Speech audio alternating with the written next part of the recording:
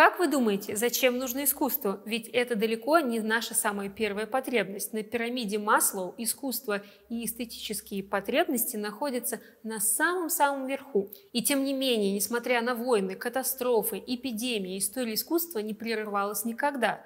То есть с тех пор, как древний человек – впервые взял уголек и нарисовал первого бизона на стене своей пещеры, искусство никуда не девается из нашей с вами жизни, несмотря на то, что в мире происходит. Этот выпуск посвящен поиску ответов на вопрос, зачем нам нужно искусство и почему оно до сих пор живо. Сегодня вы узнаете, как с помощью искусства доказать, что ты не деспот, а просвещенный правитель. Как цены на земли в Нидерландах привели к невероятному расцвету живописи. Сколько картин хранилось в доме среднестатистического жителя Голландии 400 лет назад. И почему вы не сможете обменять девочку с персиками Серова на картины Веласкеса?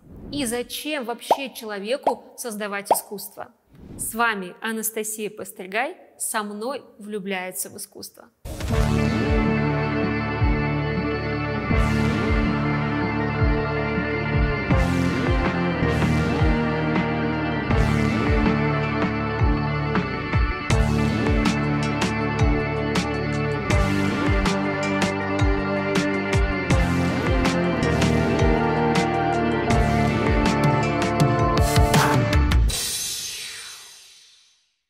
Прежде чем я начну свой рассказ, я прошу вас написать в комментариях свои версии. Как вы думаете, зачем человеку искусство в целом и зачем оно нужно именно вам? Пишите свои варианты, а я потом обязательно прочитаю все ответы, и автору лучшего комментария я подарю свою книгу «Влюбиться в искусство». Если мы с вами спросим у антрополога, искусствоведа, психолога, а, арт-дилера, зачем людям нужно искусство, у каждого найдется свой собственный ответ. Даже у политиков у него тоже будет своя собственная версия. В руках человека, который стремится завоевать авторитет и власть, искусство становится мощным инструментом. Его можно использовать как откровенную пропаганду, как, например, это было с нашим соцреализмом в советское время – можно его сделать э, частью идеологии. Примерно так поступили нацисты, которые объявили импрессионизм, сюрреализм,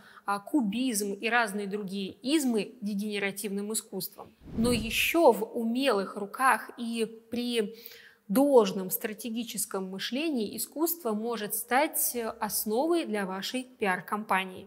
Это Флоренция, одна из колыбелей Возрождения, а это Медичи, это династия, которая сделала так, что Флоренция стала колыбелью этой эпохи. Старшие Медичи, начиная с Козима Старого, щедро спонсировали искусство еще в 15 веке. Только на строительство церквей они потратили 400 тысяч дукатов. Для сравнения, на 15-20 дукатов в год можно было роскошно жить. Тогда искусство и культура в руках Медичи отчасти были способами обелить себя перед Богом, перед людьми и перед вечностью.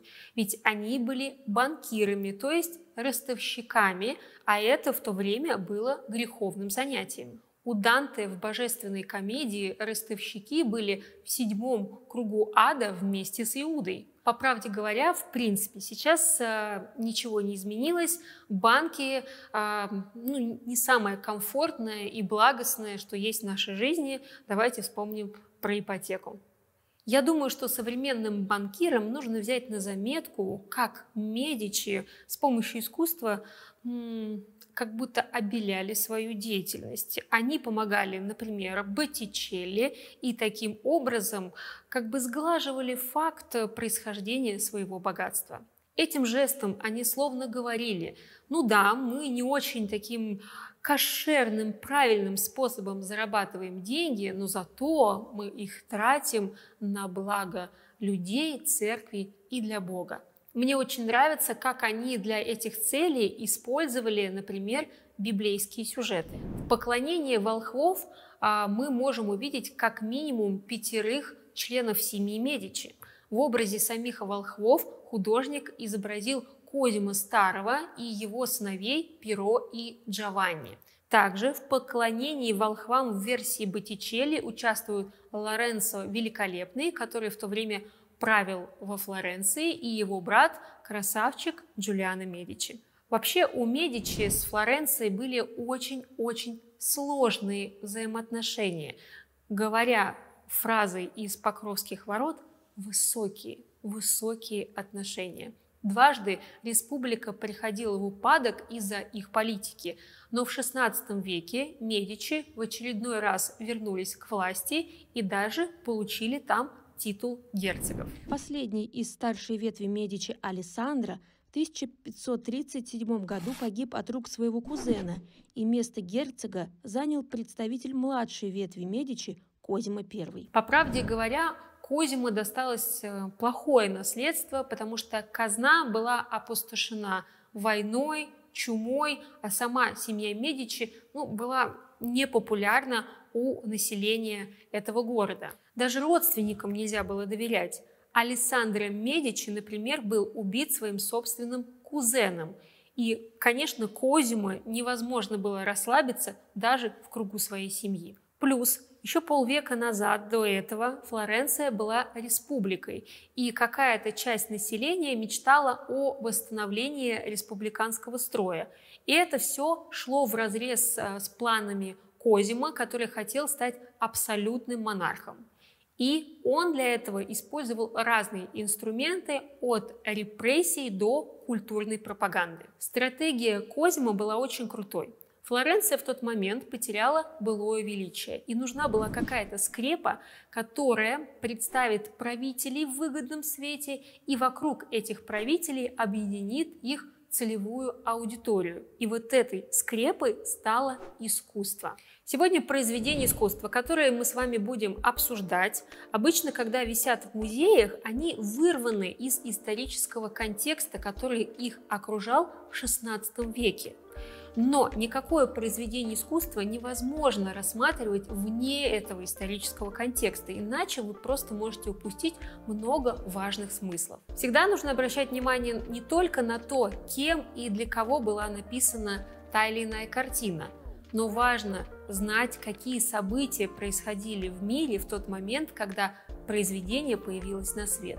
Тогда у вас сложится наиболее полная картинка и еще будет один штрих к ответу на вопрос, а что хотел сказать автор. В искусстве много таких моментов, которые для искусствоведов очевидны, но для простых зрителей закрыты. Особенно для тех, которые только вот-вот начинают приступать к изучению истории искусства. Новичкам кажется, что для того, чтобы получать удовольствие от искусства, нужно выучить все стили, направления, всех художников, прочитать все учебники, посмотреть все произведения. И вот только тогда ты начнешь кайфовать от походов в музей и Тебе для этого нужно иметь мощный багаж знаний за плечами. Но это так не работает. Ни в коем случае не нужно дожидаться этого момента, когда ты выучил всю историю искусства. Во-первых, это невозможно. Во-вторых, важно понимать, что можно получать удовольствие даже когда ты делаешь в этом направлении первые шаги. Сделал шаг, применил свои знания, похвалил себя, получил мощную дозу дофамина и на этом топливе можно ехать все дальше и дальше. И вот так через положительное закрепление вы сможете освоить всю историю искусства. Специально для новичков, которые только начинают делать свои первые шаги в искусстве, я разработала курс под названием «Старт». Он как раз для тех, кто хочет получать удовольствие от изучения истории искусства вот уже прямо сейчас. Сегодня посмотрел курс, завтра пошел в музей и там применил все то, что узнал на курсе. Начинка курса просто великолепная. В основе лежит концепция микроленин, то есть микрообучение, на которое не нужно выделять огромное количество времени, но эффект потрясающий. Весь материал порезан на 9 небольших уроков. Длительность от 5 до 15 минут. И чтобы вам было удобно все это смотреть и внедрять это в вашу супер насыщенную жизнь. В каждом видео я рассказываю об одном каком-то навыке, который поможет вам понимать искусство и в нем ориентироваться. Мы все с вами знаем, как работает наш мозг, когда дело касается нас самих. Даже если мы точно знаем, что нам это во благо, мы все равно будем откладывать, мы все равно будем забывать делать что-то приятное для себя. Даже если нам прям очень-очень-очень-очень сильно нравится искусство, все равно есть риск, что найдутся какие-то более срочные дела, чем вот этот курс. Поэтому у вас будет бот-помощник, это такой ваш интерактивный тренер, который будет нежно, ненавязчиво вам подсказывать, так вот прям нежно тыкать вас, что вам нужно посмотреть урок, а еще предложит вам дополнительные материалы и тренировки. В результате прохождения курса «Старт» вы научитесь 9 вещам, которые сделают ваши отношения с искусством незабываемыми. Вы сможете анализировать картины, вы сможете понимать их смысл, вы освоите мой авторский метод э, тренировки своей насмотренности. Это будет такой искусствоведческий тренажерный зал. Вы научитесь различать между собой архитектурные ордеры, а это значит, что вы, когда будете идти домой по городу, от работы до дома, эта прогулка станет для вас просто невероятной, потому что вы будете совершенно по-другому смотреть на те здания, которые вас окружают. Вы узнаете, как правильно смотреть скульптуру, графику, вы начнете понимать современное искусство, вы научитесь видеть влияние истории на искусство, и вы получите инструкцию, как невероятно эффективно ходить по музеям, чтобы потом в вашей голове не было каши. Чтобы вы могли уже прямо сейчас пощупать э, начинку курса, посмотреть, как он устроен, а также оценить нашего бота-помощника, я дарю вам бесплатный доступ к одному из уроков старта. Вы сможете бесплатно посмотреть урок о связи истории и искусства. После него вы как раз научитесь видеть, как исторические события влияют на то, что делают художники. Вы сможете анализировать исторический контекст произведений, чтобы видеть даже неочевидные смыслы, которые закладывает автор. Переходите по ссылке под этим роликом и оформляйте доступ к бесплатному уроку. Если вам понравится и вы не захотите расставаться со мной и с ботом-помощником, то вы сможете приобрести весь курс целиком со скидкой 50%. Главное, посмотрите пробный урок, чтобы начать практиковаться и получать э, вот эти первые плоды своего увлечения искусством. И после этого урока вы обязательно начнете понимать, где в произведениях флорентийских мастеров XVI века замешана политика Медичи. Наш Козима, он делал ставку в первую очередь на портреты по трем причинам. Первая причина – портреты легко копировать и транспортировать во все концы Европы, используя как визитки. Вторая причина – искусство в этот момент становится более светским, все больше денег люди тратили на искусство не только для того, чтобы украсить, например, свою домашнюю церковь или капеллу, но для того, чтобы запечатлеть себя во всей красе, вот такого красивого, любимого, и чтобы оставить память о себе для последующих поколений. И вот в этом плане Медичи подавали всем флорентийцам большой пример. Третья причина – портреты – это способ продемонстрировать навыки художника. Ведь каждая модель на портрете того времени всегда роскошно одета. В одном наряде художник мог соединить сразу же несколько фактур, текстур и таким образом показать, как он круто владеет своим мастерством. То есть художникам было выгодно становиться частью пропаганды. Одним из придворных художников того времени стал Аньола Бронзина. В учебниках по истории искусства вы его имя встретите в главе посвященной эпохе маньеризма. Это такой стиль прокладка между ренессансом и барокко. Для маньеризма характерны такие ломанные позы персонажей на картинах, то есть люди э, в жизни так не двигаются. И художники специально выдумывали подобные неестественные позы, чтобы все смотрелось эффектнее. Э, потому что в этот момент было особенное время. Эпоха Ренессанса уже сошла на нет, и начался такой турбулентный период, когда еще искусство не определилось, э, каким оно должно быть. Еще нету вот этой театральности и пышности барокко, ну, чувствуется такой какой-то нервный надлом. Особенно я люблю смотреть на руки на портретах Бронзина. Посмотрите на портрет самого Козима, такой, знаете, респектабельный герцог в начищенных до блеска доспехах, и как изящно лежит рука, которую он положил на шлем. Я в своей жизни провела огромное количество фотосессий, и обычно самая большая проблема вот с этими руками, куда их деть.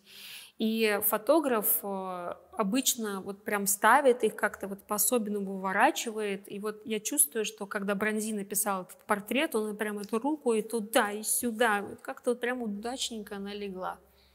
Как лебедушка. Как лебедушка, да. Мне просто обычно вот на фотосессиях как вот, вот так и стоишь. Ты же не понимаешь, как они там в кадре смотрятся. Тебе кажется красиво, а там как две сосиски. Ну, правда. Джорджо Вазари, который провел некоторое время при дворе Козимо Медичи, так говорил про портреты Бронзина. Они настолько естественны, что кажутся живыми, и единственное, чего им не хватает, это дыхание. Вот Бронзине удавалось передать эту роскошь в портретах просто на 100%. Наряды, в которые он одевал своих героев, они выглядят прям настоящими. Он умел потрясающе работать с фактурой материалов. Вот прям кажется, вот еще ты вот прям протянешь руку, и ты почувствуешь тактильно а, вот этот бархат, шелк, эти кружева. Итак, Медичи использовали портреты как инструмент для того, чтобы подчеркнуть, что они очень богаты, а также для того, чтобы дать всем понять, что они очень влиятельная семья. Вот, например, портрет сына Козима Джованни в образе Иоанна Крестителя. Здесь э, можно подумать, что это просто такая изысканная домашняя фотосессия, но в реальности здесь более тонкий смысл. Джованни получил от папы римского должность кардинала в одной из церквей в Риме, а до этого он был архиепископом в Пизе. Выражаясь простым языком, он работал в церковных структурах на очень жирных должностях. А теперь посмотрим на это глазами Козима. Джованни, вот его птенчик, он выпорхнул из семейного гнезда и стал очень успешным. И нужно, чтобы все, буквально все знали, что он из семьи Медичи, и за ним стоит Флоренция. Поэтому Джованни изображен в образе Иоанна Крестителя – а он являлся символом Флоренции. Вот такая вот культурная многоходовочка. Благодаря вот таким вот тонким манипуляциям через искусство Медичи не смотрелись в глазах людей такими алчными правителями, а наоборот, они выглядели такими тонкими политиками и бескорыстными покровителями искусства. Кстати, к правителям других государств Медичи тоже заходили через искусство как такой очень своеобразный пиар-ход или, можно сказать, триггер. Итак, наш следующий персонаж, которого мы будем рассматривать, это правитель Франции Франциск I.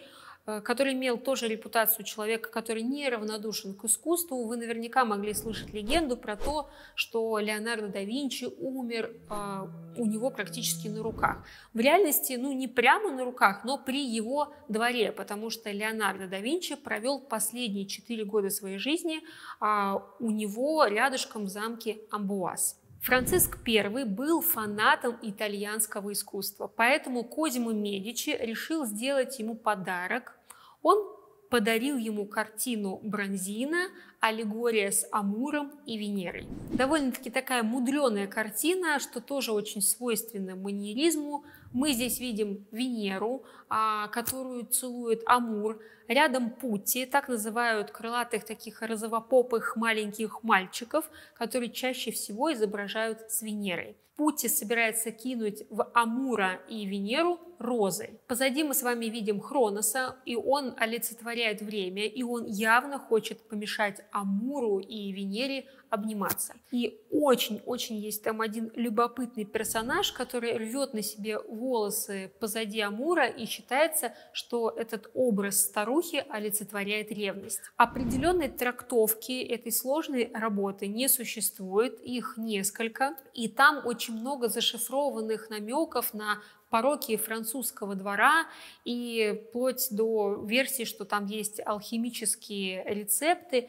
но вполне может быть так, что Козьма просто решил поступить как сваха и свести французского короля с Бронзина, потому что великий Леонардо, он уже умер, а Тициан другой великий итальянский художник, э, он не хотел поддаваться на уговоры Франциска и не хотел покидать Венецию. А тут вот Медичи с новой звездой итальянского искусства.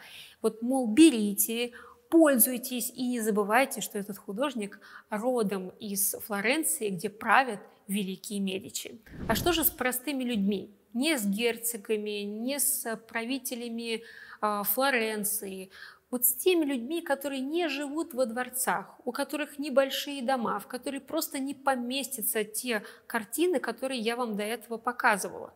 Какую роль для их жизни играло искусство? Давайте мы с вами сейчас перенесемся в Нидерланды 17 века. После того, как Мартин Лютер выступил с такой жесткой критикой католической церкви и таким образом запустил процесс реформации, страны Европы разделились на два лагеря. Одни государства, такие как, например, Испания или Италия, они остались католическими, а другие стали протестантскими. И, разумеется, это был не только вопрос веры. Во многом это был вопрос политики. Поэтому протестантизм для некоторых регионов стал реальной возможностью стать более самостоятельными. И так произошло с северными провинциями в Нидерландах. Южная часть страны, сейчас это преимущественно Бельгия, она осталась под властью испанской короны, то есть они там были католиками. А вот север Нидерландов, э, то есть область вокруг э, Амстердама. А там все боролись за независимость и в итоге ее получили. И там был протестантизм. Разумеется, искусство в этих регионах было разным, потому что там были разные заказчики. У католиков в основном это высшие слои населения и церковь, а у протестантов сейчас мы разберемся кто. Давайте посмотрим на примере Рубенса и Рембрандта, как различается это искусство. Они были современниками. Рубенс, он был южным художником, то есть это Нидерланды, которые под властью Испании, а Рембрандт был северный. Это Нидерланды протестантские. Поэтому Рубенс, он такой пышный, такой эффектный, такой театральный, как полагается для эпохи барокко. А Рембрандт такой более лаконичный, и там очень много психологизма. То, что северные провинции были протестантскими, это очень сильно отразилось на выбор тех сюжетов, которые покупали в тот момент люди. Библейские сюжеты сразу же отметаются, потому что протестанты свои церкви не украшают, значит, нету на это заказов. Мифологические и исторические сюжеты тоже особенной популярностью не пользуются, потому что самым влиятельным классом была не аристократия, а именно буржуазия, то есть предприниматели. Для того, чтобы понимать сюжеты с мифами или с историей, у буржуазии не было контекста, то есть у них было другое образование, у них были другие цели, другой фокус. Им нужно было строить бизнес, а не разбираться в тонкостях мифологии.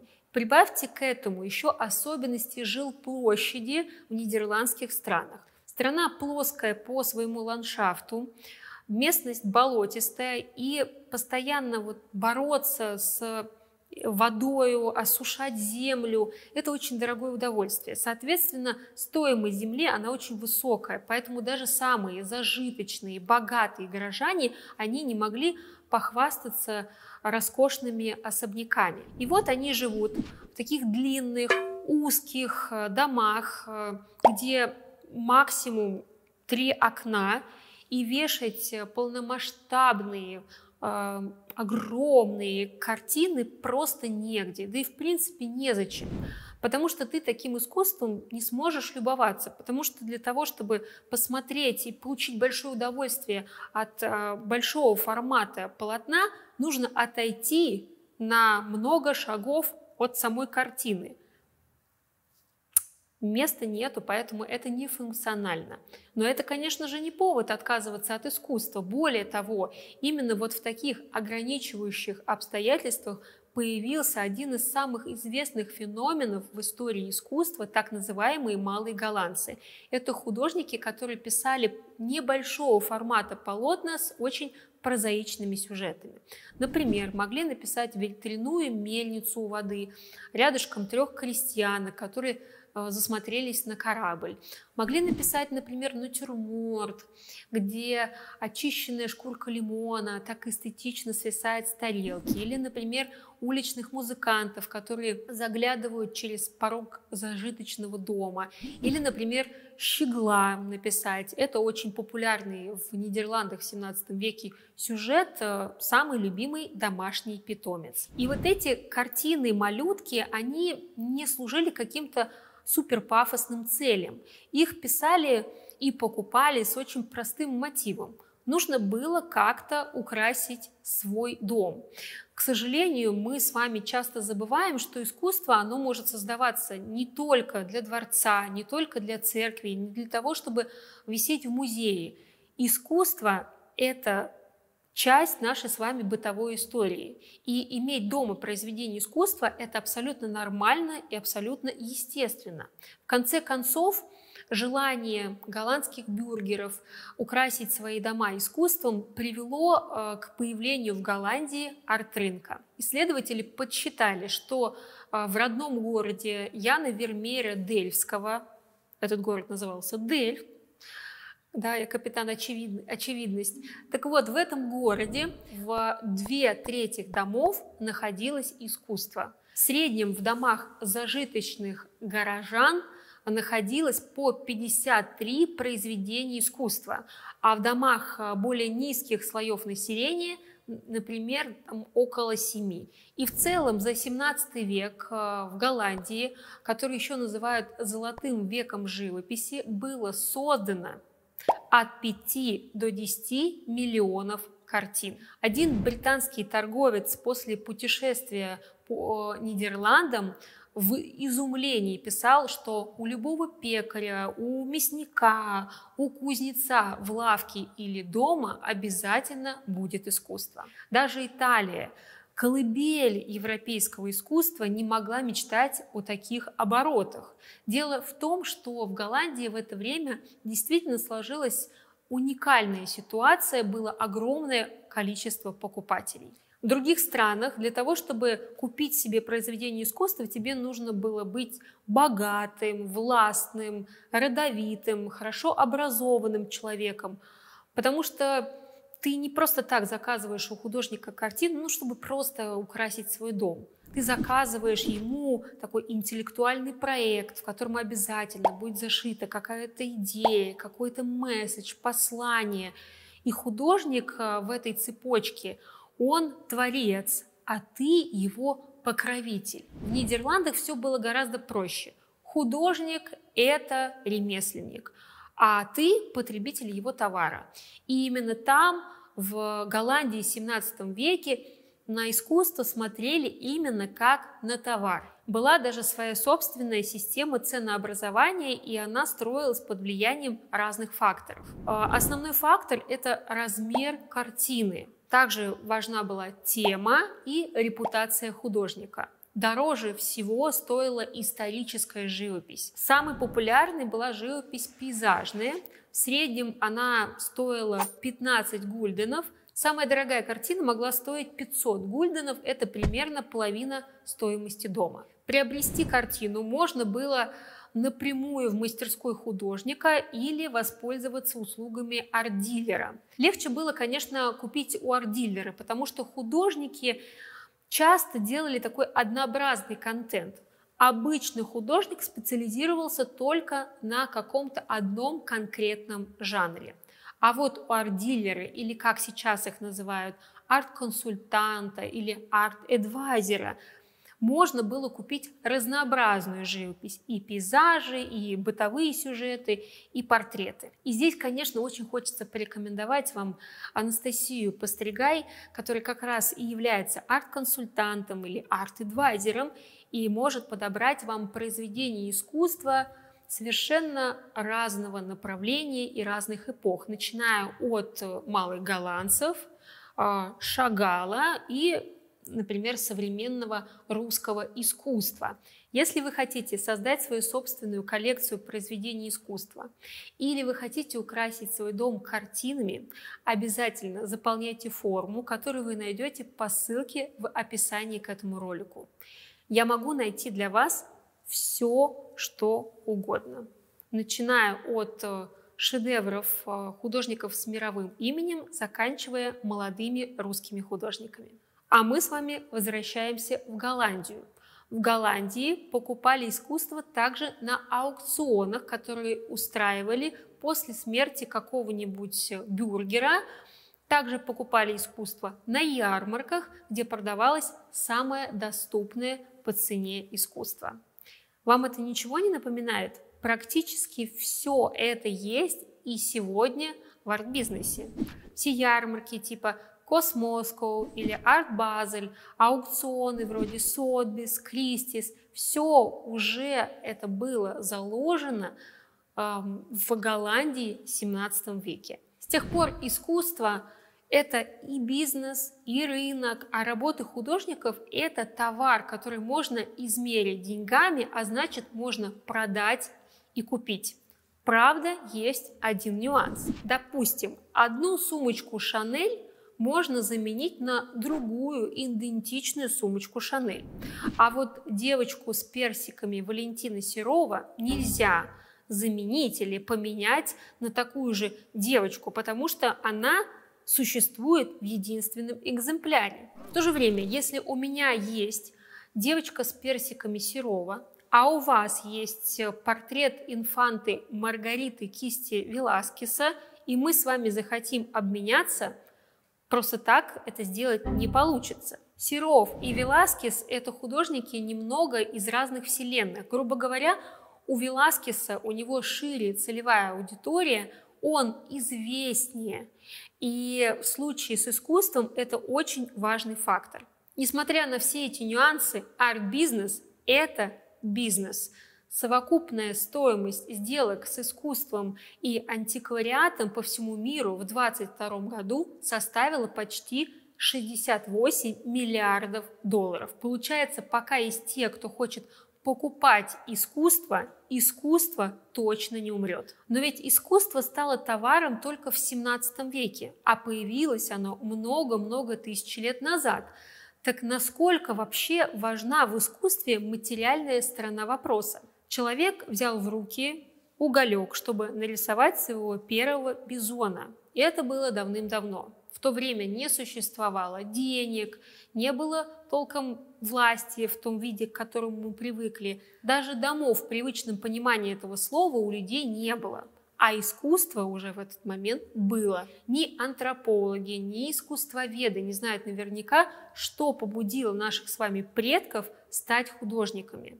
Существуют три основные версии. Согласно первой, просто в людях проснулось чувство прекрасного. Согласно второй, это была визуализация желаемых результатов охоты. Поэтому всех вот этих вот симпатичных бизончиков и лошадок зачастую пронзают стрелы. Такая, знаете, форма визуализации древнего мира – а третья гипотеза, она предполагает, что древние люди с помощью этих рисунков просто общались. Даже если эти три версии окажутся одновременно все верными, все равно ни одна из них не дает ответа на вопрос, зачем нам с вами, людям 21 века, нужно искусство. Чувство прекрасного можно удовлетворить с помощью кино, моды, дизайна, путешествия, фотографии. Кстати, с помощью фотографий можно и желаемые результаты визуализировать. Да и общаться мы с вами тоже научились десяткам разных способов. Я думаю, что можно поискать ответы, для чего нам нужно искусство, если переместиться в кризисные времена. Во времена Великой Отечественной войны в Пушкинском музее продолжали читать лекции, там продолжали водить экскурсии, там продолжали делать выставки. Прямо в залах музея лежал снег, потому что в соседний дом попала бомба и осколки разрушили крышу Пушкинского – а копия Давида Микеланджело и другие скульптуры а, были в деревянных коробках с заколоченными досками. И музейные работники даже шутили, что у каждой скульптуры была своя собственная комната. Но музей продолжал жить. Потребность в искусстве у людей никуда не делась. Эта же потребность заставила Анри Матисса взять в руки краски, когда он практически целый год провел в больнице с воспалением грыжи на позвоночнике и был в полнейшем унынии.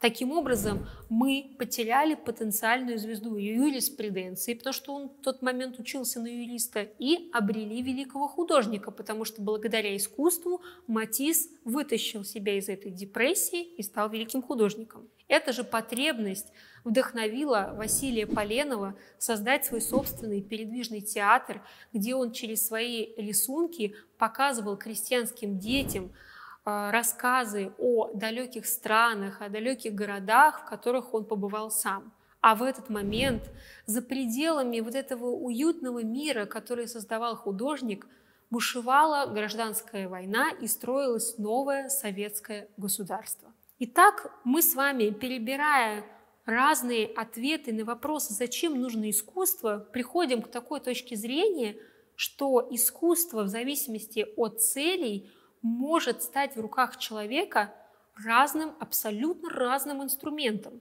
Но одна из суперспособностей искусства – это вытаскивать нас на свет, когда вокруг нас сгущается тьма.